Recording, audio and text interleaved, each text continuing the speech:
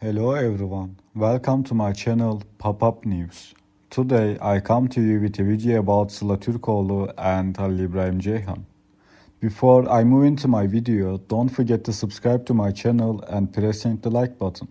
Thank you and let's get into my video.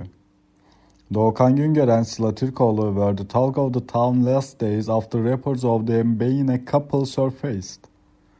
The two have been seen together for a long time, and the rumors of their relationship were quite strong.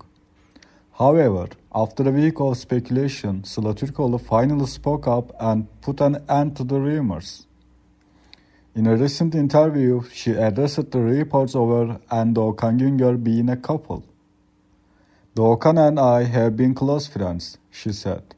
Sıla went on to add that she and Doğukan have always been very open and honest with each other and that they are very comfortable in each other's company. She also mentioned that she was very grateful for the support for Doğukan has given her over the years. The couple Doğukan Güngör and Sıla Türkoğlu, who were thought to be together for a long time, were only close friends. Sıla Türkoğlu said they were friends.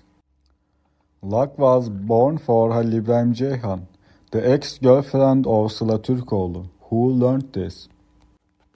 Fans are very curious about what Halil İbrahim Ceyhan will do for Sıla, whose hope has risen again for Sıla Türkoğlu. Thank you very much for watching my video. See you in the next one. Take care and goodbye.